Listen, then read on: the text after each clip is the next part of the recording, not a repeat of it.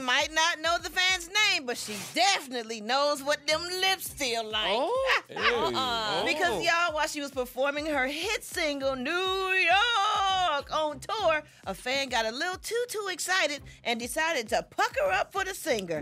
Lord have mercy. That's a no. That's a no. Whoa. What's Swiss COVID's B got to around, say about COVID? that? Oh my COVID? God. COVID is still a thing. COVID and still- so is still going out monkeypox. Do not touch me and do not put your lips on my face. Mm, so yeah. Alicia saw the clip posted on Hollywood Unlocked and dropped a comment saying, "Trust me." I was like, "What? The Don't she know what time it is?" Uh, that's that uh, Spanish Harlem uh, coming out of her, yo. Okay, that's the real old school Alicia Keys said a nuck if you mm. buck. But HK and Brat are performers. You guys are on stage all the time. Right. What would you do if somebody just grabbed your face like this and went in for a smooch? Like, what's going on? What's the next?